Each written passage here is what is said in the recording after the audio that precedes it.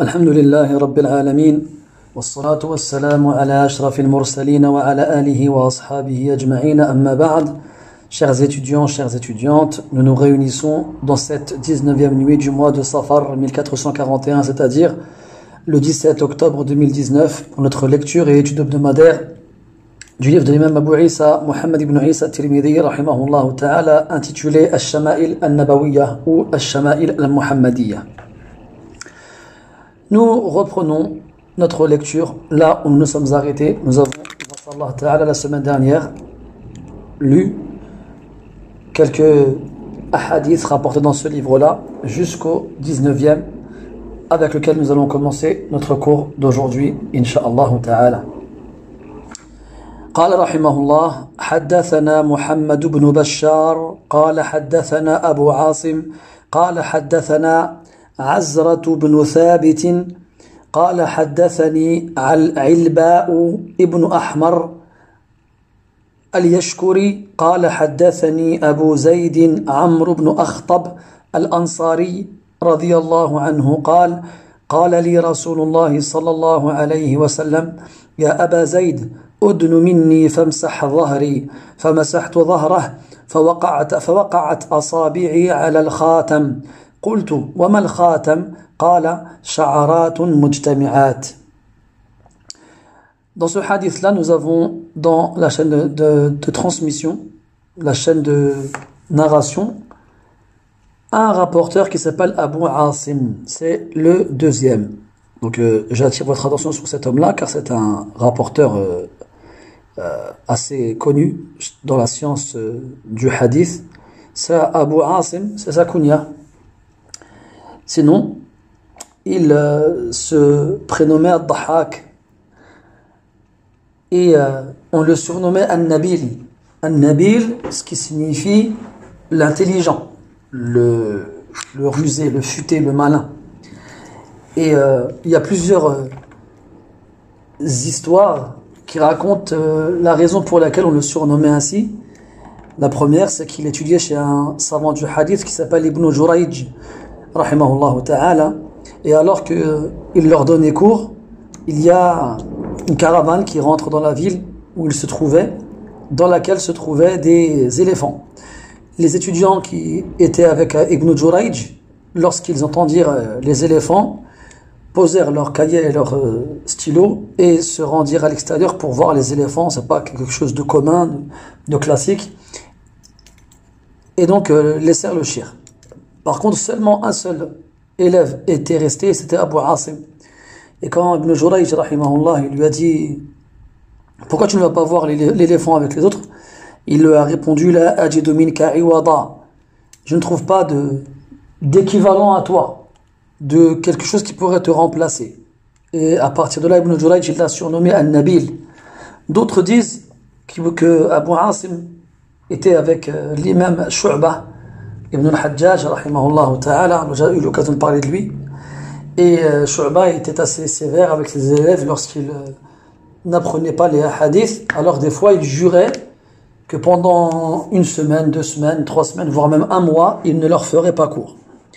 Et alors que Abu Asim était arrivé donc euh, auprès de Shu'ba pour écouter de lui le hadith, il est arrivé dans une période où justement Shu'ba avait juré qu'il ne leur ferait pas cours pendant un mois. Et euh, les élèves à l'époque, ils avaient une, une bourse assez limitée et ils ne pouvaient pas se permettre de rester aussi longtemps sans étudier, car c'était de l'argent gaspillé. Alors Shu'ba, euh, Abu Asim, il a été voir Shu'ba et il lui a dit, ya Sheikh, je m'engage à expier ton serment en, en, libérant mon esclave pour que tu puisses nous faire court.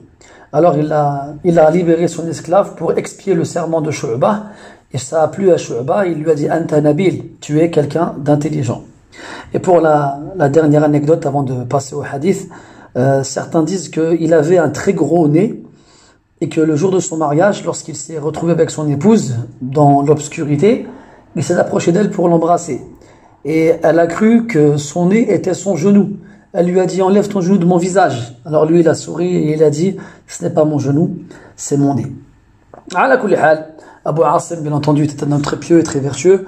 en plus d'être un grand savant de la communauté qu'Allah lui fasse miséricorde. Le hadith, il est rapporté par un compagnon qui s'appelle Abu Zayd, Amr ibn, ibn Akhtab al-Ansari, radiallahu anhu, qui lui aussi fait, partie des, enfants, des petits compagnons, radiallahu anhu, si on peut le dire ainsi, des compagnons de, qui étaient plus jeunes que les autres. Et euh, Abu, euh, Abu Zayd et son nom est Amr ibn Akhtab al-Ansari. À savoir qu'il euh, a eu l'immense privilège de, de sentir la paume de la main du prophète sallallahu alayhi wa sallam lui caresser la tête et, et le visage. Et euh, le prophète sallallahu alayhi wa sallam a invoqué Allah ta'ala pour lui. Il a, il, a, il a demandé à ce qu'Allah lui donne la beauté. Donc il, a, il, il, était donc effectivement très très beau et il a vécu très longtemps. Certains disent qu'il a dépassé la centaine, il est mort à 100 et quelques années. Et ils disent que euh, il avait 94 ans et il n'avait pas un seul cheveu blanc, ni, dans les cheveux, ni dans la barbe, car le prophète sallallahu alayhi wa sallam avait demandé à Allah de lui accorder aussi une longue vie. Alors il nous dit, Amr ibn Akhtab al-Ansari radiyallahu anhu, il nous dit que le prophète sallallahu alayhi wa sallam lui a dit, Ya Aba Zayd, odnu minni. Odnu, ça veut dire rapproche-toi de moi. Dana, du verbe dana, yadnu, odnu, dunu wan. Waddunu, c'est ce qui est bas, c'est ce qui est proche. Et le pronom superlatif féminin de dunu, c'est dunya. Et ce bas monde, on l'appelle ainsi parce qu'il est le plus proche de nous et parce qu'il est bas dans le sens où il ne vaut rien. C'est pour ça qu'on l'a appelé dunya. Donc, odnu minni, ça veut dire approche-toi de moi. Famsah dhahri. Famsah c'est-à-dire essuie mon dos dans le sens de frotte-moi le dos, gratte-moi le dos.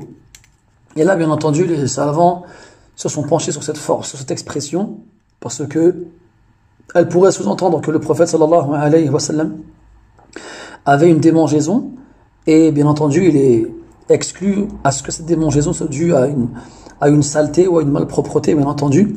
Il est possible que le prophète sallallahu alayhi wa sallam a pensé que dans ses vêtements, il y avait quelque chose qui pouvait le nuire comme un, comme un insecte, ou bien il, a, il lui a dit cela dans le but de euh, lui permettre de voir ou de toucher le sceau de la prophétie. Aussi, comme on vient de le dire, Abu Zayd était encore un petit garçon à l'époque où le prophète lui a demandé de faire cela. Et pourtant, il lui a dit à Abba Zayd, et on va voir dans plusieurs hadiths que le prophète sallallahu alayhi wa sallam avait l'habitude de donner la kunya aux, même aux enfants. Même aux enfants, il leur donnait des kunya. Et la kunya chez les Arabes, c'est un, un titre honorifique. C'est un titre honorifique à un point où les gens se sentaient insultés lorsqu'on ne les appelait pas par leur kunya. Surtout les personnes euh, importantes comme les gouverneurs ou bien les, euh, les, les, les, les, savants. Et le prophète sallallahu alayhi wa sallam faisait comprendre aux gens qu'ils avaient de l'importance et il leur donnait des kunya, même s'ils étaient petits ou même si c'était des femmes. Et le, le poète il disait أكنيه ولا ألقبه أكنيه إذا أكنيه حين أناديه ولا ألقبه فإن السوءة اللقب Je lui donne une kunya lorsque je l'interpelle et je ne lui donne pas de sobriquet car les sobriquets sont très mauvais. Ya Aba Zayd. Udnu minni famsah dhahri. Donc imsah dans le sens essuie, passe ta main sur mon dos dans le sens de frotte-moi le dos.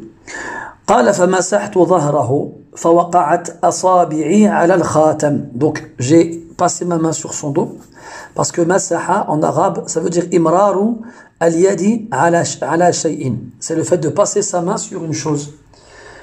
et pas seulement le fait d'essuyer comme on pourrait comprendre essuyer parce que nous en français si on dit essuyer on va comprendre qu'il y a soit de l'eau soit quelque chose à enlever mais on peut très bien essuyer sans qu'il y ait quelque chose en dessous comme par exemple, quand on fait le tayammum, quand on fait le tayammum, les, les ablutions sèches, eh bien, Allah il a dit dans le Coran, فَإِن لَمْ تَجِدُوا مَاءً فَتَيَمَّمُوا صَعِيدًا طَيِّبًا فَامْسَحُوا بِوُجُوهِكُمْ وَأَيْدِيكُمْ مِنْهُ Donc il a bien précisé que l'action à accomplir lorsqu'on fait tayammum, les ablutions sèches, c'est le masih, c'est le fait de passer la main dessus, même s'il n'y a rien sur la main ou bien sur euh, l'endroit où on passera la main. Donc فمسحت ظهره, j'ai passé mes mains sur son dos. فوقعت أصابعي على الخاتم. فوقعت dans une version du hadith فغمزت. Ça veut dire mes, mes doigts sont touchés, sont tombés, mes doigts ont touché Al-Khatam, le sceau. Qultu. Ici, qui est celui qui parle C'est le dernier rapporteur. Avant le compagnon, c'est Ilba ibn Ahmad al-Yashkuri, rahimahullah ta'ala. Qultu, wa mal khatam? Donc là, il est avec Abu Zayd, Amr ibn Akhtab al-Ansari, qui lui raconte cette histoire-là. Et donc, euh, Ilba, il entend le mot khatam et il se demande qu'est-ce que al-khatam Wa mal khatam? Et là, on voit donc euh, que les compagnons, que les tabi'in, que les élèves des professeurs en général, lorsqu'ils ne comprenaient pas une chose, n'hésitaient pas à demander. Et comme euh, Al-Bukhari rapporte d'après Mujahid, Ibn Jabr, rahmatullahi alayhi, qu'il y a deux types de personnes qui n'apprendront jamais, l'orgueilleux et le timide. Donc il ne faut pas hésiter à poser des questions lorsqu'on craint d'avoir mal compris, ou bien lorsqu'on pense ne pas avoir compris. Donc là, la parole revient à Abu Zayd Amr ibn Akhtab radiyallahu anhu قال شعرات مجتمعات شعرات مجتمعات donc c'est à dire que lui il a décrit le khatam le sceau comme étant un, une, une, un groupe de cheveux réunis un groupe de cheveux réunis mais nous jusqu'à présent on n'a pas encore dit que le khatam était recouvert par des poils ou bien par des cheveux on a dit qu'il était d'une certaine couleur. donc on a vu la divergence chez les savants, comme quoi il était soit rouge, soit noir, soit vert, ou bien de la couleur de la peau. On a vu aussi les différences d'explication, de, de, de, description sur la taille. Est-ce que c'était comme euh, le bouton d'une moustiquaire, ou bien est-ce que c'était comme l'œuf d'une perdrix, ou bien l'œuf d'une colombe, ou bien est-ce qu'il se trouvait euh, au milieu, des, dans, est-ce qu'il se trouvait dans le dos, ou bien et, et qu'il se trouvait entre les épaules, mais qu'il était plus du côté gauche. Il a arrivé. Donc on avait plusieurs choses jusqu'à présent, mais on n'a pas encore évoqué la présence de poils sur le, sur le seau en question. Et ce qu'il est important de savoir et de préciser ici, c'est que euh, Abu n'a pas vu le seau, mais il l'a touché il l'a touché et euh, il est possible que la texture du seau lui a fait croire que c'était des cheveux ou bien des poils alors que ce n'était pas le cas. Parce qu'aucun hadith en dehors du hadith d'Abu Zayd, celui-ci, ne nous décrit le seau comme étant euh, recouvert de cheveux. Donc le hadith, on doit le comprendre que, que le, ici, Abu Zayd, il a, il a répondu à Ilba en fonction de ce qu'il a senti et pas en fonction de ce qu'il a vu, car il n'a pas vu le saut du prophète alayhi salatu wassalam. On passe au hadith suivant, le hadith numéro 20.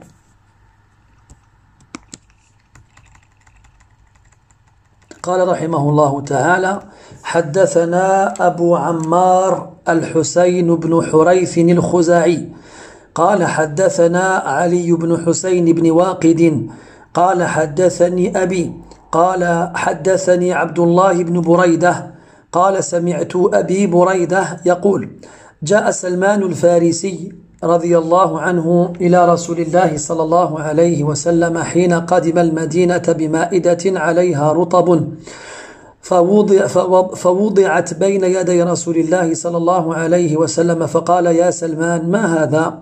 فقال صدقة عليك وعلى أصحابك. فقال ارفعها فإنا لا نأكل الصدقة. قال فرفعها فجاء الغد بمثله فوضعه بين يدي رسول الله صلى الله عليه وسلم فقال ما هذا يا سلمان؟ فقال هدية لك. فقال رسول الله صلى الله عليه وسلم لأصحابه بسطوا ثم نظر إلى الخاتم على ظهر رسول الله صلى الله عليه وسلم فآمن به. وكان لليهود فاشتراه رسول الله صلى الله عليه وسلم بكذا وكذا درهما على أن يغرس نخلا فيعمل سلمان فيه حتى تطعم. فغرس رسول الله صلى الله عليه وسلم أو حتى تطعم عفوا. فغرس رسول الله صلى الله عليه وسلم النخيل إلا نخلة واحدة غرسها عمر فحملت النخل من عامها ولم تحمل النخلة. فقال رسول الله صلى الله عليه وسلم ما شأن هذه النخلة؟ فقال عمر يا رسول الله أنا غرستها فنزعها رسول الله صلى الله عليه وسلم فغرسها فحملت من عامها. طيب donc le hadith il est un peu long il est rapporté par Abu Buraida qui est donc là le rapporteur? Il s'appelle Abdullah ibn Buraida. Abdullah ibn Buraida rapporte le hadith de son père, qui est Abu Buraida. Et son père, eh bien, s'appelle lui aussi, s'appelle Buraida ibn al-Husayb al-Aslami, radiyallahu anhu.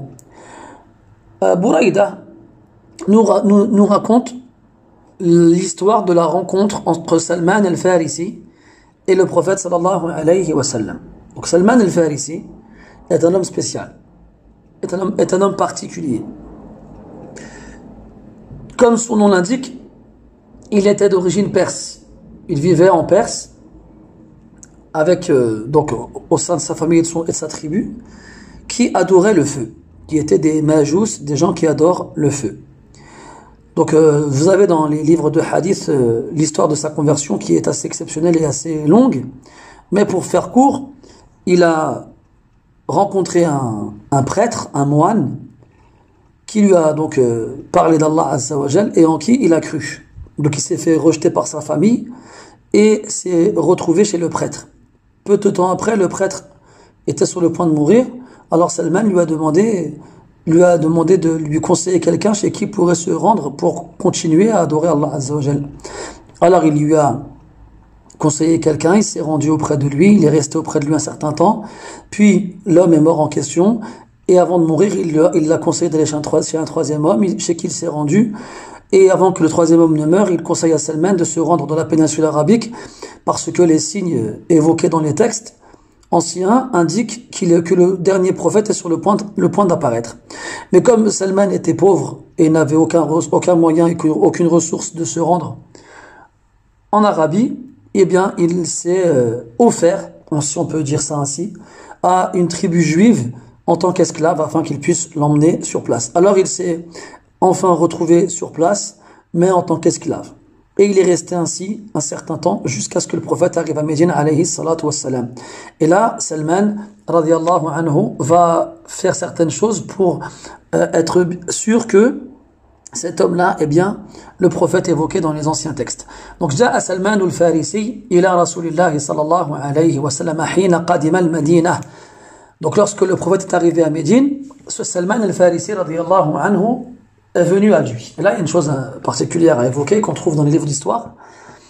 Comme quoi Salman al-Farisi anhu a vécu 250 ans. Il y en a même qui disent 350 ans. Et il y a certains historiens qui ont dit non, c'est pas possible qu'il ait vécu aussi longtemps. Mais franchement, quand on lit euh, l'histoire de sa vie, eh bien, il en a fallu des années pour pouvoir euh, vivre autant de choses.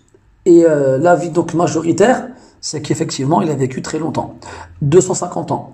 Et même Al-Zahabi, ta'ala, qui rajoute qu'il a vécu 125 ans dans la mécréance et 125 ans dans l'islam. Donc lorsque le prophète est arrivé à Médine, eh bien, Salman, qu'est-ce qu'il a fait? Il est venu auprès de lui, bima'idatin. Al-ma'ida, comme on le traduit en français, c'est une table garnie, une table service, c'est-à-dire une petite table on appelle ça en arabe khiwan, c'est une sorte de table basse qui repose sur trois pieds, que l'on pose à proximité de celui qui veut manger, et bien entendu sur laquelle on posera à manger. Il a dit bima edatin alayha rotabun. Donc al-rotab, c'est un des noms des dates en fonction de leur euh, texture. Donc on a plusieurs noms pour les dates en fonction de leur maturité. Et al-rotab, ce sont les dates fraîches, c'est-à-dire les dates qui sont comestibles juste après qu'elles aient atteint leur maturité. Al-rotab. Et Allah y fait référence dans le Coran, dans Surat Maryam, quand Maryam s'est plaint de, des douleurs de, de l'enfantement, de l'accouchement, alors euh, Allah Ta'ala il lui a envoyé Jibril alayhi salam فناداها من تحتها ألا تحزني قد جعل ربك تحتك سريا وهزي إليك بجذع النخلة تساقط عليك رطبا جنيا رطبا donc l'histoire de ridwanullah lorsque elle a commencé à souffrir au moment où elle, allait accoucher et que Jibril lui a dit de secouer le tronc du palmier afin que tombe sur elle des, dates, fraîches et, bonnes. Donc. Et il y a une version du hadith dans, lequel, dans laquelle on nous dit que Salman, radiallahu anhu, en plus des dates, avait aussi acheté de la viande pour un dirham. Donc, un dirham, c'est une pièce d'argent qu'il a donc proposé au prophète sallallahu alayhi wa sallam. Et lorsque la, la, table garnie a été déposée entre les, les mains du prophète sallallahu alayhi wa sallam, sallallahu alayhi wa sallam. Donc cette petite table a été posée devant le prophète sallallahu alayhi wa sallam. On dit bayna yaday. Donc si on traduit littéralement, ça veut dire entre ses mains. Mais ici, ce qui est voulu, c'est devant lui. Bayna yaday, ça veut dire devant. Faqal le prophète a dit sallallahu alayhi wa sallam ya Salman. Donc il l'appelle par son prénom. Donc là il y a deux choses à savoir. La première c'est que le prophète sallallahu alayhi wa sallam s'intéressait et s'interrogeait au, sujet des gens autour de lui, même si il n'était pas musulman, même si il n'était pas important. Donc Salman ici n'est pas musulman. Et c'est un esclave. Et pourtant le prophète sallallahu alayhi wa sallam connaît son nom. Et bien entendu, il l'a connu, euh, on, peut, on, on est en droit de se dire qu'il l'a connu en demandant autour de lui. Donc regardez l'intérêt que le prophète portait pour les gens autour de lui, jusqu'à ce qu'il demande aux gens comment s'appellent les esclaves des non-musulmans, parce qu'il appartenait aux juifs. et il lui demande qu'est-ce que cela? Pourtant c'est clair, on sait très bien que c'est une petite table avec de la nourriture dessus. Donc pourquoi est-ce que le prophète sallallahu alayhi wa sallam il demande qu'est-ce que cela? Parce qu'il y a certaines, une certaine catégorie de, de dons qu'on va lui faire auquel il n'aura pas le droit, comme on va le voir tout de suite. Donc c'est pour ça qu'il demande. Sinon, bien entendu, c'est visible et évident qu'il s'agit d'une table sur laquelle il y a de quoi manger, des dates et de la viande. فقال سلمان فقال رضي الله عنه صدقة عليك وعلى أصحابك c'est une sadaqa. Donc sadaqa, on le traduit en français par aumône. C'est une aumône pour toi et pour tes compagnons. C'est une aumône pour toi et pour tes compagnons. On appelle en arabe l'aumône sadaqa, qui vient du mot sidq, qui veut dire la vérité, la véracité. Parce que l'aumône est une preuve de la présence de la foi dans le cœur. Le prophète sallallahu alayhi wa sallam a dit burhan. La l'aumône, est une preuve, burhan, parce qu'elle prouve la présence de la foi dans le cœur de celui qui la donne. Comment Parce qu'Allah Ta'ala promet à celui qui donne une aumône la richesse et la succession et surtout la récompense. Donc comme on lui a fait confiance et qu'on a cru en sa promesse, alors on a donné. C'est ainsi que l'aumône fut appelée sadaqa en arabe. Sadaqatun alayka wa ala ashabik. C'est donc une aumône pour toi et pour tes compagnons. فقال صلى الله عليه وسلم ارفعها فإنا لا نأكل الصدقة. Donc irfa'aha, traduction donc littérale, relève-la. Ça veut dire quoi Reprends-la. Car nous ne mangeons pas de l'aumône. Car nous ne mangeons pas de l'aumône. Et ici, le prophète sallallahu alayhi wa sallam, quand il dit nous, il ne vise pas lui et ses compagnons radiallahu anhum. Mais il vise sa personne ainsi que sa famille. Car le prophète sallallahu alayhi wa sallam n'avait pas le droit à l'aumône. Ainsi que les membres de sa famille. Alayhi. Et les savants ont expliquer pour quelle raison le prophète sallallahu alayhi wa n'avait pas le droit à l'aumône. Premièrement, parce que l'aumône vient de, de celui qui est en haut vers celui qui est en bas. Vient de celui qui est en haut vers celui qui est en bas. Le prophète dit sallallahu ulya khayrun. La main qui est au-dessus est meilleure que la main qui est au-dessous en dessous, pardon. Donc le prophète sallallahu alayhi wa étant meilleur que qui que ce soit, ne va pas prendre de, des autres dans une, dans, une situation où il serait en dessous. La deuxième, la deuxième euh, raison, c'est que le prophète sallallahu alayhi wa dans, dans, un, dans un hadith, il a dit que innaha min nas. As-sadaqa, l'aumône, provient de ce, de, de ce qui est sale chez les gens. Qu'est-ce que ça signifie? Parce que l'aumône, comme on le sait, doit être donné après qu'on est, qu'on est subvenu à nos besoins et aux besoins de nos familles. Allah dit dans le Coran Et il t'interroge au sujet de ce qu'ils doivent dépenser, réponds-leur à l'afu, ce qu'il y a en plus. Ce qu'il y a en plus. Donc les gens, généralement, quand ils donnent de l'argent en aumône, ils donnent de ce qu'il leur reste. Après, qu'ils se soient servis de leur argent pour leur intérêt personnel ou bien pour leurs leur, leur proches. Donc le prophète sallallahu alayhi wa sallam ne va pas prendre des gens ce, qu'il est, ce, ce, qui, ce dont ils se débarrassent entre guillemets après s'être occupés de leur propre personne. Donc il a demandé à Salman radiallahu anhu de reprendre son, son, son aumône et c'est ce qui a été dit après فرفعها فجاء الغد الغد عفوا بمثله et là il y a une version du hadith dans laquelle on, on nous dit que le, qu'en fait le prophète sallallahu alayhi wa sallam a demandé à ce qu'elle soit enlevée de devant lui, mais pas qu'elle soit enlevée de ses compagnons radiallahu anhum, parce que ses compagnons ont le droit à l'aumône. Ses compagnons ont le droit à l'aumône, donc elle a été enlevée de devant le prophète sallallahu alayhi wa sallam, et elle a été euh, donnée à ses compagnons radiallahu anhum, qui eux avaient le droit à l'aumône. Donc, fa al-ghada bimithlihi, le lendemain, Salman radiallahu anhu est revenu bimithlihi, c'est-à-dire avec la même chose, avec une petite table sur laquelle on trouvait de quoi manger des dattes et un peu de viande.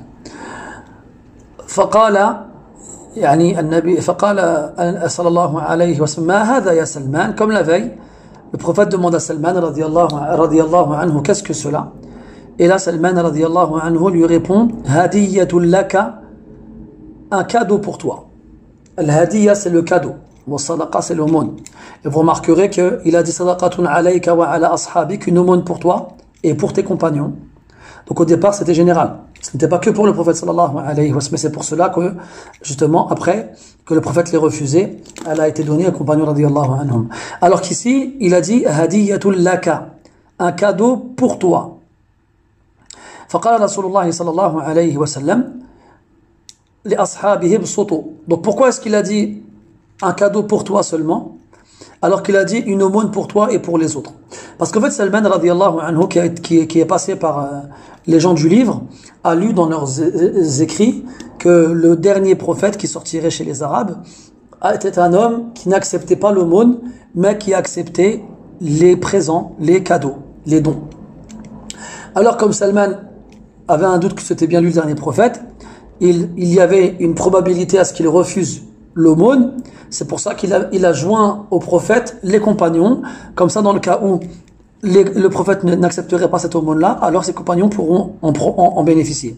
Quant au cadeau, il l'a offert au prophète sallallahu alayhi wa sallam seulement parce que s'il avait offert aussi à ses compagnons, ils auraient pu en bénéficier directement sans que le prophète ne leur offre. Ce qui aurait pu être euh, ambigu euh, pour Salman, sur justement est-ce que le signe s'applique sur le prophète ou non. Donc. Et le prophète sallallahu alayhi wa sallam a accepté le cadeau de Salman radiyallahu anhu et en a fait profiter ses compagnons radiyallahu anhum. Car lorsqu'on nous offre quelque chose, on en devient le propriétaire et on peut en faire ce qu'on veut. On peut l'offrir, on peut le garder pour soi, on peut le vendre, on peut le, le on peut en faire ce qu'on veut. فقال رسول الله صلى الله عليه وسلم لأصحابه بسطوا بسطا ça veut dire plusieurs choses et parmi les sens de ce sens-là, notamment ici, parmi les sens de ce verbe de ce verbe là pardon, notamment ici, ça veut dire ouvrir la main pleinement. Donc quand on ouvre la main pleinement, on dit basata. Et lorsqu'on referme euh, lorsqu'on replie ses doigts vers l'intérieur de la paume, on dit qabada. On dit qabada. Dit dans le Coran وقالت اليهود يد الله مغلولة غلت أيديهم ولعنوا بما قالوا بل يداه مبسوطتان ينفق كيف يشاء Et les juifs dirent que la main d'Allah est fermée, maghloula, c'est-à-dire qu'il est avare, qu'il ne donne pas. Wal'iyadu billah. غلت أيديهم que leurs mains soient fermées. ولعنوا بما قالوا et qu'ils soient maudits pour ce qu'ils ont dit. Au contraire, ses deux mains sont pleinement ouvertes. Il dépense comme il veut. وفي الحديث قال النبي صلى الله عليه وسلم إن الله يبسط يده بالليل ليتوب موسيء النهار ويبسط يده بالنهار ليتوب موسيء الليل Allah Azza wa Jal ouvre la main pleinement de nuit afin que se repente le pécheur de, jour et il ouvre sa main pleinement de jour afin que se repente le pécheur de nuit. Donc il leur dit obsoto, c'est-à-dire obsoto aidiakum, c'est-à-dire ouvrez vos mains dans le sens où Unshoto, comme dans une version du hadith, unshoto, yani allez-y, gaiement, activement, mettez vos mains dans le plat et mangez. Donc il les a invités à manger avec lui, alayhi as-salatu was-salam. قال ثم نظر إلى الخاتم على ظهر رسول الله صلى الله عليه وسلم فآمن به donc puis Salman radiallahu anhu qui vient de voir un des signes qui décrivait le prophète dans les écrits anciens demande à voir le, le fameux sceau de la prophétie dans le dos du prophète alayhi salatu wassalam. En fait, dans la version du hadith, il ne demande pas à le voir. Mais le prophète a compris que Salman voulait le voir. Alors, le prophète a découvert son dos et Salman s'est mis derrière lui et lorsqu'il a vu le sceau de la prophétie dans le dos du prophète sallallahu alayhi wa sallam, il a pris le prophète dans ses bras et en pleurant et, a donc euh, et s'est donc converti à l'islam. Et le prophète a dit de Salman anhu que si euh, si la vérité se trouvait dans les étoiles, eh bien il y a des hommes qui auraient été jusqu'à là-bas pour la trouver parmi eux Salman radiallahu anhu warda. Et, euh, et Salman, donc il était un esclave qui appartenait aux, aux Juifs. Il a dit Wakana lil Yahoud, il appartenait aux Juifs. Fashtarahu Rasulullah sallallahu alayhi wa sallam bikada wa kada dirhaman. Donc il dit ici que le prophète l'a acheté, a racheté Salman avec tant et tant dirham. Donc on a dit tout à l'heure que le dirham c'est une pièce d'argent. Donc dans cette version du hadith, on ne sait pas quel était le prix d'achat de Salman radiallahu anhu. Cependant, dans d'autres versions du hadith, on nous dit que ce n'était pas des dirhams, mais des dinars, de l'or et pas de l'argent. Et ce n'était pas des, des, des, pièces, mais ce qu'on appelle des uqiyah. Al-uqiyah, c'est ce qu'on appelle en français une once, une once d'or. Et une once d'or, c'est ce qui équivaut à peu près à 30 grammes d'or. C'est un tout petit lingot qui pèse 30 grammes. Et euh, selon le cours de l'or actuel, 40 once d'or, donc on a une once d'or, ça coûte, ça coûte 1430 euros. Eh bien, si si je veux acheter 40 onces d'or, ça me reviendra à 57 200 euros. Donc le prix déterminé par les juifs pour vendre Salman anhu était de 57 200 euros, soit à peu près 60 000 euros. Et ce n'est pas tout. Ce n'est pas tout. Et ils, ont mis aussi dans le contrat à ce que euh, Salman plante et s'occupe de palmiers. Il a dit après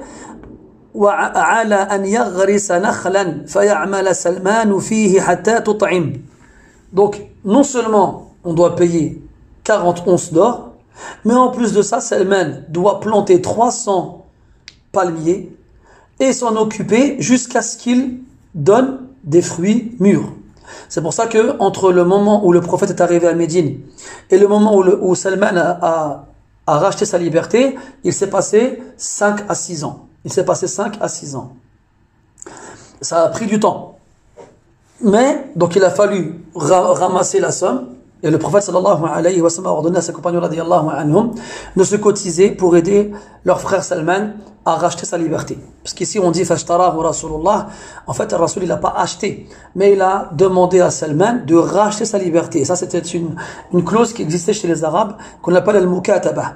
Al-mukataba c'est un moyen pour l'esclave de racheter sa liberté en travaillant pour son maître et ainsi en payant son propre prix et, et, et, et en devenant un homme libre comme les autres.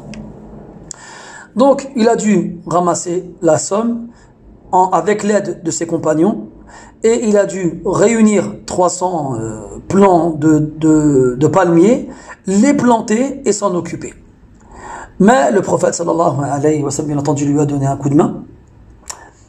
فغرس رسول الله صلى الله عليه وسلم النخل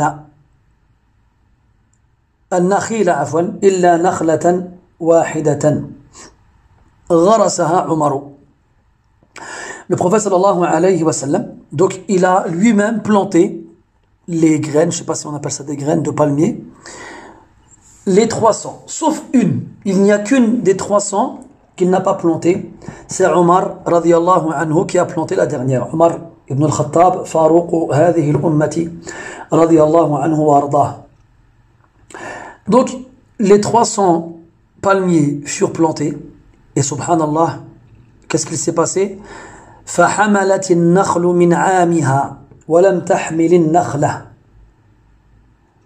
donc qu'est-ce qui s'est passé? Toutes les graines plantées par le prophète sallallahu alayhi wasallam ont poussé l'année même de leur plantation. Les 299, sauf une. Il n'y a qu'une qui n'a pas poussé. Et le prophète sallallahu alayhi wa sallam a remarqué qu'il restait un palmier qui n'avait pas encore, euh, euh, qui n'était pas encore, qui n'avait pas encore poussé. Alors il a dit, pourquoi ce, cette, ce palmier-là n'est-il pas encore, n'a-t-il pas encore poussé? فقال عمر يا رسول الله أنا غرستها. Il a, Omar alors s'explique en disant au prophète que c'est lui qui l'a planté. فنزعها رسول الله صلى الله عليه وسلم. Alors le prophète a, a a enlevé la graine plantée par Omar et l'a replantée lui-même. Et, elle, et cette graine a donné naissance à un, palmier l'année même de sa plantation. Et là, ce qu'il faut savoir, pour, car malheureusement, très peu d'entre nous connaissent euh, les, les, habitudes de, des, des palmiers lorsqu'ils poussent, c'est que ça ne pousse pas l'année même. Le, le, le, palmier de Omar, il est normal. Ce sont les palmiers du prophète sallallahu alayhi wa sallam qui sont spéciaux. Parce que chez les planteurs de palmiers, chez les cultivateurs de palmiers, eh bien, on sait très bien que la plante, la graine plantée ne pousse pas l'année même. Mais elle met plus de, plus, beaucoup plus de temps pour, pour, pour, pour, euh, pour, pousser. Et Omar, radiallahu anhu, eh bien, lui, il n'a pas échappé à la règle et la graine qu'il a plantée a pris le temps qu'elle prenait en façon, de façon générale pour sortir. Mais c'est le prophète sallallahu alayhi wa sallam qui a reçu la bénédiction de la, bénédiction de la part d'Allah Azzawajal et qui a fait donc de cette euh, plantation un miracle entre les mains du prophète sallallahu alayhi wa sallam car les euh, palmiers ont poussé l'année même de leur plantation, chose qui n'arrivait pas en temps normal. Et donc, après tout cela, Salman radiallahu anhu a pu euh, retrouver sa liberté et vivre avec les musulmans libres. Et c'est seulement à la bataille de Al-Khandaq des euh, fossés, donc à la cinquième année de l'Égypte, si je ne me trompe pas, que le prophète sallallahu que Salman radiallahu anhu a pu participer avec le prophète à une expédition, à une, à une guerre, à une bataille. Et d'ailleurs, la, la, participation de Salman était très, très importante parce que il a donné au prophète cette technique euh, militaire qui consiste à, à creuser des fosses autour de la ville de Médine pour empêcher l'ennemi de rentrer dans la ville. طيب passe au hadith suivant le hadith 21 قال رحمه الله تعالى حدثنا محمد بن بشار قال حدثنا بشر بن الوضاح قال حدثنا أبو عقيل الدورقي عن أبي نضرة العوافي العواقي ça c'est une erreur le livre. C'est marqué عوافي mais العواقي. Parce qu'en fait il y a العواقي. Ici Abu, Abu Nadra c'est العواقي. une ville en, en, en, en, Perse ou en Irak, je ne me souviens plus. على كل حال Abu Nadra al-Awaqi رحمه الله تعالى interroge un compagnon قال سألت أبا سعيد الخدري رضي الله عنه عن خاتم رسول الله صلى الله عليه وسلم فقال كان في ظهره بضعة ناشزة Donc, Abu Nadra, rahimahullah, il interroge le compagnon du prophète sallallahu alayhi wa sallam, qui s'appelle Abu Sa'id al-Khudri. Abu Sa'id al-Khudri, c'était sa kunya, mais son nom, c'est Sa'ad ibn Malik ibn Sinan, radiyallahu anhu, dont le père aussi était un compagnon, et dont le père est mort à la bataille de Uhud, radiyallahu anil jami'. Donc, euh, Abu Nadra, il interrogé Abu Sa'id al-Khudri, radiyallahu anhu, sur le sceau du prophète sallallahu alayhi wa sallam. Alors, Abu Sa'id, donc là, عن خاتم رسول الله صلى الله عليه وسلم فقال et donc dans la version qu'on a à l'écran il manque un passage parce que dans celle de mon livre il y a quelques mots en plus après après Rasulullah il y a marqué يعني خاتم النبوة c'est-à-dire le sceau de la prophétie donc ils ont précisé de quoi il s'agissait parce que le khatam ça peut, faire référence à la, bague. Et on sait que le prophète sallallahu alayhi wa sallam avait une bague.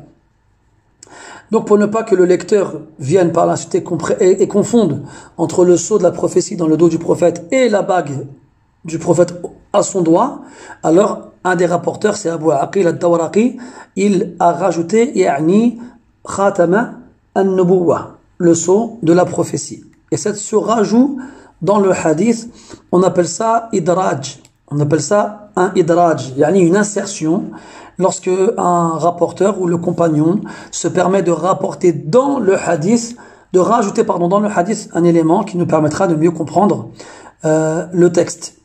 Et ça, bien entendu, les savants du hadith savent les reconnaître parce que ce genre de, de rajouts ne sont pas présents dans les autres versions du hadith qui passent par d'autres personnes. طيب فقال أبو سعيد رضي الله عنه كان في ظهره donc encore une fois, la même information comme dans le hadith précédent, que le sceau de la prophétie se trouvait dans le dos du prophète, alayhi salatu wassalam, et nous on va rajouter fi a'la dhahrihi, dans la partie supérieure du dos, au niveau, des omoplates, on l'a dit donc entre les, omoplates, et plus du côté gauche. Yaqul bid'atan nashizatan. Bid'atan, ça veut dire un morceau. Un morceau généralement, donc à la base bid'a, ça fait référence à un morceau, au morceau de quelque chose comme dans le hadith, prophète sallallahu alayhi wa sallam, il a dit bid'atun minni. Fatima, sa fille, est une partie de moi. Fatima, la fille du prophète sallallahu alayhi wa sallam, est une partie de moi. En fait, euh, al-bid'a, ça veut dire un morceau. Et là, ça fait référence à un morceau de chair, un morceau de viande, un morceau donc de peau, si on peut l'appeler ainsi, un morceau de, de, de chair. Nashiza. Un en arabe, c'est ce qui est surélevé. C'est ce qui est surélevé.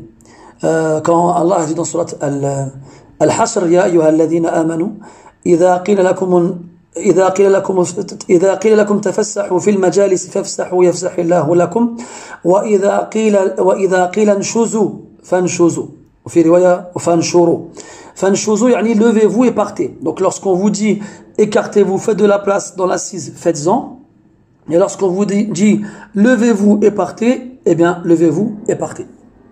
Donc nashaza, ça veut dire se mettre en, en, évidence, se mettre en exposition, se mettre en surélévation.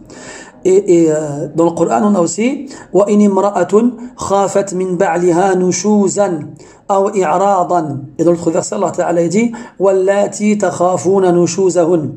Donc un nushuz, c'est le fait de se mettre au-dessus, de se mettre au-dessus, d'être en surélévation. Et ici, il dit bid'atun ou bid'atan nashizatan. C'est-à-dire que le sceau de la prophétie se trouvait dans le dos du prophète sallallahu alayhi wa sallam et était un morceau, un, une partie de viande surélevée. Surélevée par rapport à quoi Surélevée par rapport au dos du prophète alayhi as-salatu wassalam. On continue avec le hadith suivant. قال رحمه الله تعالى حدثنا أبو الأشعث أحمد بن المقدام العجلي البصري قال حدثنا حماد بن زيد عن عاصم الأحول عن عبد الله بن سرجس المزني رضي الله عنه قال أتيت رسول الله صلى الله عليه وسلم وهو في ناس من أصحابه فدرت هكذا من خلفه فعرف الذي أريد ألقى الرداء عن ظهره فرأيت موضع الخاتم على كتفيه مثل أو مثل الجمع مثل الجمع حولها خيلان كأنها ثآليل. فرجعت حتى استقبلته فقلت غفر الله لك يا رسول الله. فقال صلى الله عليه وسلم ولك. فقال القوم أستغفر لك رسول الله صلى الله عليه وسلم فقال نعم ولكم ثم تلا هذه الآية واستغفر لذنبك وللمؤمنين والمؤمنات Donc là, nous avons un hadith rapporté par un compagnon qui s'appelle Abdullah ibn Sarjis. Donc là, les savants ils divergent sur la, le dapt, quand on parle de dapt, c'est-à-dire la façon de placer les voyelles sur les lettres. Déjà ici, vous avez Sarjis avec un ya, et c'est une faute. Personne d'après ce que j'ai pu lire, n'a mis le nom de ce compagnon-là avec un ya. C'est Sarjis sans le ya. Après, certains disent Sarjis avec une kasra, d'autres disent Sarjas avec une fatha. Les deux existent. Amma Sarjis avec un ya, ça n'existe pas. Fima a'lam wallahu ta'ala a'lam. Et ce compagnon-là, lui aussi, fait partie des compagnons qui, étaient, qui, étaient, qui n'étaient pas âgés du vivant du prophète alayhi as-salatu wassalam. En termes d'informations nous concernant, il y en a très peu même pour vous dire, les, les compagnons, les, les, les, savants du hadith ont divergé sur euh, le fait que Abdullah ibn Sajid était un compagnon, mais ce n'est pas une vraie divergence, dans le sens où euh, Ibn Abdel Barr, ta'ala, il dit en fait que quand certains comme Shu'ba ou d'autres ont dit que ce n'était pas un compagnon, c'était dans le sens où ce n'était pas un grand compagnon, parce que c'était un enfant à l'époque du prophète sallallahu alayhi wa sallam, et si je ne me trompe pas, il n'a rapporté que deux ou trois hadiths du prophète sallallahu alayhi wa sallam, et celui là en fait partie. Donc Abdullah ibn Sarjis anhu, nous dit qu'il a, il a, il a été voir le prophète sallallahu alayhi wa sallam. Ataytu Rasulallah sallallahu alayhi wa sallam wa huwa fi nasin min ashabihi. Alors qu'il était parmi des gens de ses compagnons. Et là, la phrase, comment l'exprimer, on doit bien la comprendre. Huwa fi nasin min ashabihi. S'il avait dit huwa fi ashabihi, ça aurait été suffisant. Mais lui, il a rajouté وَهُوَ فِي نَاسٍ مِنْ أَصْحَابِهِ النَّاسِ, à la base, c'est le, c'est le, ça veut dire les gens. Ça veut dire les gens. Et le mot nas, il peut viser tout le monde, comme quand Allah dit قُلْ أَعُوذُ بِرَبِّ النَّاسِ comme il peut viser des gens en particulier. Comme il peut viser des gens en particulier. Par exemple, dans Surat Al-Ali Imran, Allah Ta'ala dit الَّذِينَ قَالَ لَهُمُ النَّاسُ donc ceux dont les gens ont dit, ceux à qui les gens ont dit, les gens se sont réunis contre vous, alors craignez-les, mais leur foi au contraire a augmenté. Eh bien, ici il faut comprendre que Annas, il, il, est, il est répété deux fois dans le même verset, mais chaque fois vise un sens différent. Le premier, d'après les mufassirin, d'après les savants du tafsir, c'est Abu Sufyan ibn Harb radiallahu anhu, avant qu'il ne soit musulman. Mais comme il faisait partie des gens les plus nobles de la Mecque, on, les appelait An-Nas. Donc les gens nobles et importants, on les appelait An-Nas, même s'ils étaient tout seuls. Même s'ils étaient en petit nombre. On a un autre verset dans ce sens-là, dans Surat An-Nisa, quand Allah Ta'ala dit est-ce que vous éprouvez de la jalousie envers les gens pour ce qu'Allah leur a donné de sa grâce? Et en fait ici, An-Nas, comme le disent les savants du tafsir, c'est le prophète sallallahu alayhi wa sallam. Donc les gens importants, on les appelle An-Nas. Et ici, quand on dit, quand il a dit wa huwa fi min ashabihi, il était parmi des gens de ses compagnons. Donc on comprend qu'il n'est pas avec n'importe lequel de ses compagnons et qu'il est avec des compagnons importants. Et lui, c'est un enfant. Donc on a dit qu'Abdullah ibn Sarjis, anhu, à ce moment-là, était encore un enfant, ou bien était encore jeune. Et alors que le prophète était dans une assise avec des gens importants, eh bien il est venu. Et qu'est-ce qu'il a fait? Je me suis mis à tourner comme cela derrière lui. Donc ici il dit hakada, donc forcément, ça veut dire qu'il a joint le geste à la parole lorsqu'il a euh, informé euh, Hamad euh, al-Ahwal de cette histoire-là. Donc celui qui rapporte le hadith de lui. Et ça, c'est une chose qu'on retrouve beaucoup dans les hadiths. On retrouve que les, les, les compagnons, bien les rapporteurs, joignent le geste à la parole pour qu'on comprenne de quelle façon euh, l'action a eu lieu. Donc ici, euh, malheureusement, nous n'avons pas de détails, mais on sait que, imaginez-vous un enfant qui tourne derrière quelqu'un pour voir quelque chose qui l'intrigue, pour voir quelque chose euh, qu'il aimerait bien, dont il a entendu parler, mais qu'il n'a jamais vu encore. Et le prophète sallallahu alayhi wa sallam, comme on a dit tout à l'heure, il était, il était attentif à ce qui se passait autour de lui, il était observateur, il voyait, il faisait même attention aux enfants, alors que généralement les gens importants ne font pas attention aux enfants. Donc il euh, a remarqué et a compris euh, que Abdullah ibn Sarjis tournait derrière lui et il savait ce qu'il voulait. Il a su ce que je voulais. Qu'est-ce qu'il voulait? Abdullah ibn Sarjis, c'était voir le saut de la prophétie. Et subhanallah, ça, ça prouve deux choses. La première, c'est que beaucoup de hadiths nous parlent d'enfants qui sont intrigués par le saut de la prophétie dans le dos du prophète sallallahu alayhi wa sallam. Comment est-ce que les enfants pouvaient être, pouvaient être intrigués de ce saut-là Parce que c'était quelque chose dont tout le monde parlait. C'est-à-dire que les, parents de ces enfants-là, dans leur maison, parlaient du sceau du prophète sallallahu alayhi wa sallam. Et il est même possible que ses propres parents-là n'avaient pas pu le voir et en avaient entendu parler eux aussi. Mais c'était quelque chose qui faisait, qui était un des signes de la prophétie physique et donc que tout le monde voulait, voulait, voulait voir. Mais comme les, les adultes euh, avaient trop de pudeur à l'égard du prophète pour lui demander, alors les enfants qui en entendaient parler, eux, étaient curieux et intrigués et, et faisaient en sorte, sans le demander, de se mettre derrière le prophète, de lui faire comprendre qu'il voulait le voir, et le prophète laissait voir le sceau de la prophétie à quiconque voulait le voir. فألقى الرداء عن ظهره فألقى donc le prophète il a si on disait, traduisait littéralement, enfin, alqa, ça veut dire il a jeté, mais ça veut dire il s'est débarrassé, il a, euh, il a découvert. Al-Rida, c'est une des parties euh, de, de la tunique. On a dit que la tunique, al-Hilya, c'était euh, un vêtement composé de deux parties. Al-Rida ou, ou Al-Izar. Al-Rida, c'est une sorte de cape, hein, une sorte de cape qui recouvre le haut du corps et, euh, et qui descend en dessous euh, de la taille de la personne qui la porte.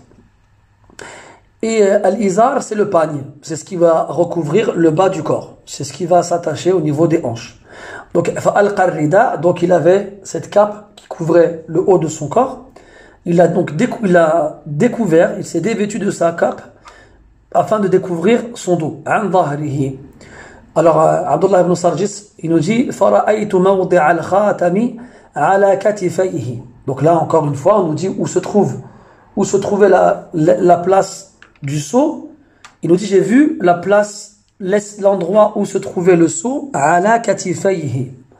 Ala katifayhi, donc sur ses deux épaules. Mais bien entendu, c'est pas possible. Parce qu'il ne peut pas avoir, il ne peut pas avoir un seau sur deux épaules. Ça voudrait dire qu'il est, soit il est énorme, soit il est euh, sur les deux épaules, ce qui n'est ni l'un ni l'autre. Mais bien entendu, ce qu'il faut comprendre ici, c'est-à-dire qu'il était entre ses deux épaules, donc sur son dos. Car on a dit tout à l'heure que le prophète a découvert son dos, alayhi salatu wassalam. Misla al-jum'i. Al-jum'i, donc ici, on a une dhamma qui se trouve au-dessus du mim, mais c'est une erreur. La dhamma, elle est au-dessus du jim. Al-jum' c'est lorsque on ferme son poing. Lorsqu'on ferme son poing et qu'on on rabat ses doigts vers l'intérieur de la paume.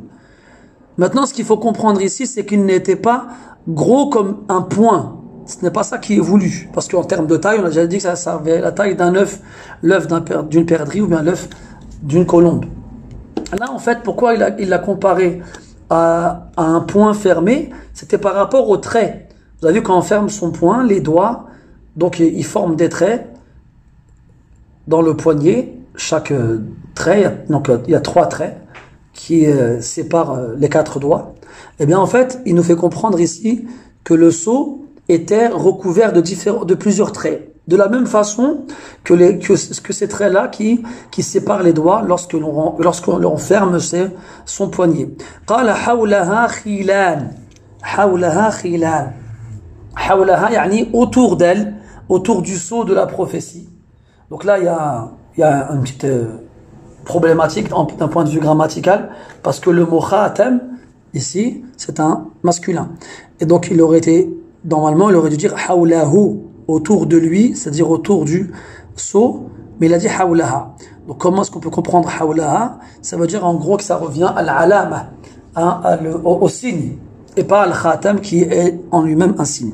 Khilan, et le mot khilan, c'est le pluriel de khal, et le khal, c'est les petits points noirs qu'on a sur le corps, qu'on appelle des grains de beauté. Donc autour de ce seau-là, il y avait des grains de beauté.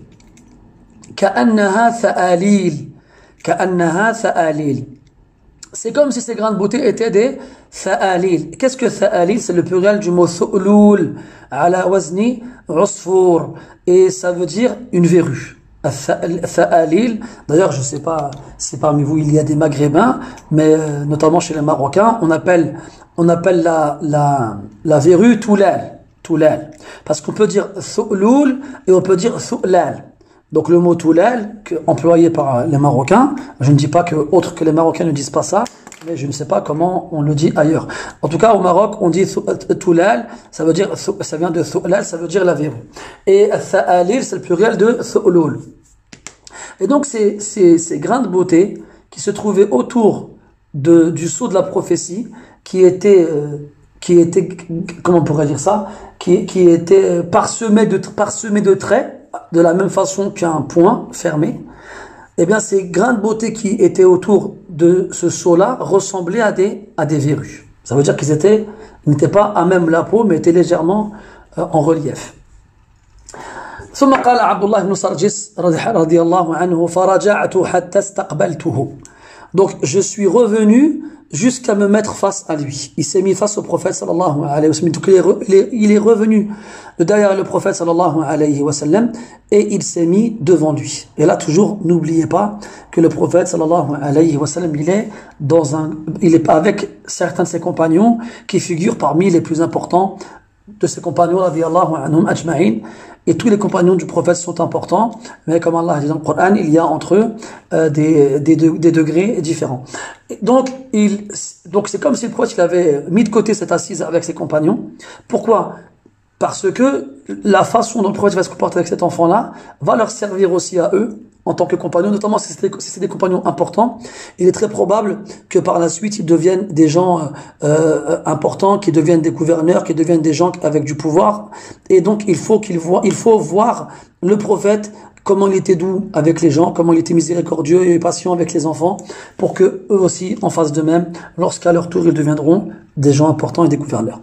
Donc il est arrivé devant le prophète sallallahu alayhi wa sallam, il lui a dit فَقُلْتُ غَفَرَ اللَّهُ لَكَ يَا رَسُولَ اللَّهِ il lui a dit qu'Allah te pardonne au messager d'Allah. Et ça, ça c'est une des preuves, parmi celles qu'on voit depuis tout à l'heure, que Abdullah ibn Sarjis était encore un enfant. Parce que personne, parmi les compagnons du prophète sallallahu alayhi wa sallam, ne se permettait d'avoir des, des, euh, des, expressions de ce genre-là, sauf dans certaines circonstances particulières, comme on pourra voir par la suite, comme un, jour où le prophète a été invité par un homme qui lui a préparé euh, à manger, et il avait sacrifié pour lui une, une brebis un agneau, pardon, et le prophète, il aimait, la partie qu'il aimait le plus dans l'agneau, c'était son épaule. Alors, euh, quand il lui a donné, comme les sahaba le savaient, il lui a proposé la, la première épaule de l'agneau, le prophète l'a mangé, il lui a dit, donne-moi la deuxième.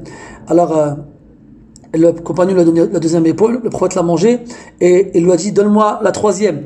Et là, le compagnon lui a dit quoi? Ghafarallahu laka ya wa hal shati euh, illa katifan. Il a dit qu'Allah te pardonne le messager d'Allah. Et est-ce que le brebis n'a, la brebis n'a pas plus de deux épaules? Et là, le prophète lui répond si, tu, tu m'avais, tu t'étais tu et tu m'avais écouté, eh bien Allah t'aurait fait, t'aurait fait, t'aurait donné une troisième épaule. Donc ce n'est pas une phrase anodine, on ne dit pas ça au prophète dans n'importe quelle circonstance.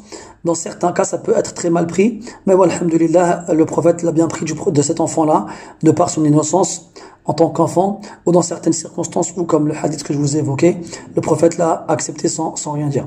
Il lui dira, Farallahu laka ya Rasulallah. Et pourquoi est-ce que Abdullah ibn Sarjis, il lui dit ça? Donc les savants ils disent qu'en fait, Abdullah ibn Sarjis de, de son jeune âge a été euh, euh, content de que le prophète le laisse voir le sceau de la prophétie sur son dos et il a voulu le remercier. Et il n'a pas trouvé d'autre chose pour remercier le prophète que de demander à Allah de lui pardonner, euh, subhanahu wa ta'ala. Et le prophète, qu'est-ce qu'il lui répond? Walak, ainsi qu'à toi. Ainsi qu'à toi. Et, euh, et, et, et, ici, il faut savoir que quand on demande à Allah de pardonner à quelqu'un, on doit commencer par soi-même. On doit commencer par soi-même avant de demander à, à, Allah de pardonner aux autres. Parce qu'il est possible qu'on ait plus besoin du pardon d'Allah que les gens pour qui on demande pardon. Et quand on lit dans le Coran, on constate que les, les prophètes, chaque fois qu'ils demandent pardon, ils, demandent, ils commencent par demander pardon pour eux. Comme par exemple dans Surat Al-Araf, quand Moussa alayhi salam demande pardon pour son frère, Ô oh, Seigneur, pardonne-moi et à mon frère. Ou encore euh, euh, euh, Nuh alayhi, euh, non, Ibrahim alayhi salam, lorsqu'il dit Rabbi ghfirli wali walidayya walil mu'minina hisab. Ô Seigneur, pardonne-moi ainsi qu'à mes parents, ainsi qu'aux croyants le jour du jugement. Ou encore lorsqu'Allah parle des, des pieux euh, qui viennent après les, les, les, compagnons du prophète sallallahu alayhi wa sallam, il dit وَالَّذِينَ جَاءُوا مِن بَعْدِهِمْ يَقُولُونَ رَبَّنَا اغْفِرْ لَنَا وَلِإِخْوَانِنَا الَّذِينَ سَبَقُونَ بِالْإِيمَانِ Donc quant à ceux qui sont venus après eux, ils disent ô oh, notre Seigneur, pardonne-nous, ainsi qu'à ceux qui nous ont précédés dans la foi. Ou encore dans la fin du Coran, quand Nuh il dit Rabbi ghfirli wa liwalidayya wa liman dakhala baytiya mu'mina al-aya. Il dit oh, oh Seigneur, pardonne-moi ainsi qu'à mes parents, ainsi qu'à toute personne qui est rentrée chez moi croyante et jusqu'à la fin du verset.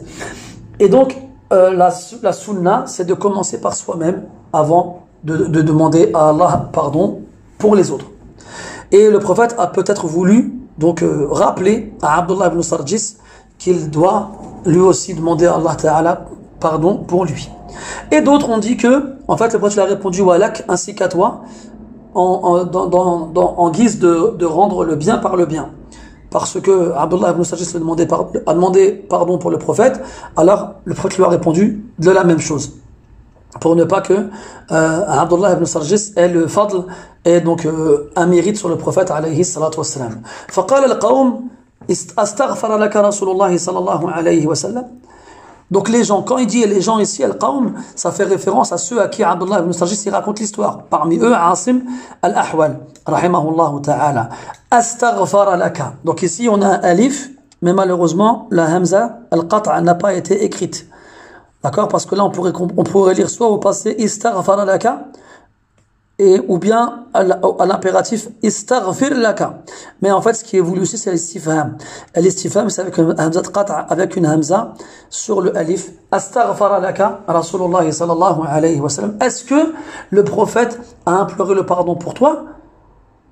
Et ça, en fait, c'est un, un, C'est-à-dire que les gens étaient étonnés d'avoir le privilège de voir face à eux un homme pour qui le prophète a imploré le pardon. C'est pour ça qu'ils se sont étonnés de ce que Abdullah ibn Sarjis venait de leur dire et qu'ils ont voulu confirmation pour être sûr d'avoir bien compris. Alors il a répondu Naam, oui, walakum, ainsi que ainsi qu'à vous. Il, il a aussi le prophète a aussi demandé pardon pour vous.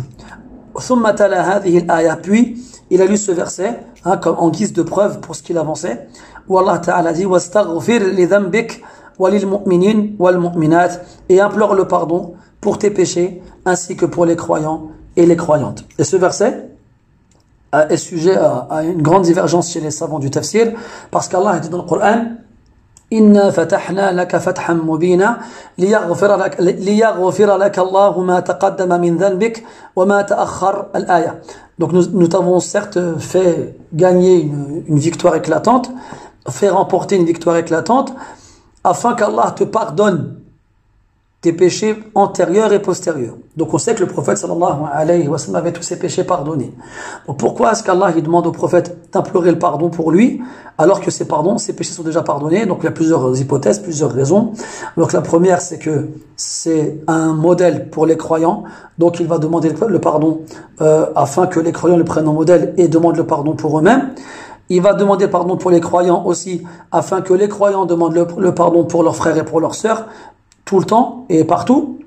D'ailleurs, le prophète nous a dit dans un hadith, sallallahu que quiconque implore le pardon pour, les croyants et pour les croyantes, il aura pour chaque croyant et chaque croyante pour qui il a demandé le pardon, une hasana, une bonne action. Et le prophète, sallallahu alayhi wa sallam, nous a appris dans la sunna, comme rapporte Abdullah ibn Omar et d'autres, qu'il implorait le pardon d'Allah dans la journée plus de 70 fois, tous les jours, plus de 70 fois. Dans une version du hadith, 100 fois tous les jours. Et une fois, euh, Aïcha radiallahu anha, comme le rapporte l'imam Ahmed, elle a euh, vu que le prophète était de bonne humeur. Alors elle lui a dit, Ya Rasulallah, implore le euh, fais dua pour moi. Alors le prophète il a dit, Allahumma ghfir li Aïcha ma qaddamat ma wa ma akharat wa ma a'lanat wa ma asarrat. Euh, il a dit, oh Allah, pardonne à Aïcha ce qu'elle a fait avant, ce qu'elle fera après, ce qu'elle a fait en public et ce qu'elle a fait en secret. Alors Aïcha radiallahu anha était tellement contente qu'elle qu'elle a, qu'elle a éclaté de rire. Et après tu lui as dit, ayasurruki du'a'i? Il lui a dit, est-ce que ma, mon invocation t'a plu? T'a réjoui? Elle a répondu, et comment ne me réjouirait-elle pas? Alors le prophète dit, innahu, inna, innahu la du'a'i li muslimina wal muslimat fi li jami'i ummati fi kulli salawati. Ou comme alayhi dit, c'est l'invocation que je fais pour tous les pour toute ma communauté dans chacune de mes prières. Donc comme Allah l'a ordonné au prophète sallam, il invoquait le pardon pour lui et pour euh, les croyants et pour les croyantes. Et certains savants ont dit, qu'en fait, les péchés évoqués dans ce verset ne sont pas des péchés dans le sens où ce sont des désobéissances, mais quand les plus pieux et les plus vertueux des humains euh, euh, ne ne choisissent pas la meilleure des solutions dans leurs, axes, dans leurs actions, eh bien c'est comme si c'était une, une, erreur pour eux. Plus on est pieux, et plus les, les actions qu'on fait euh, seront différentes des actions classiques chez les gens.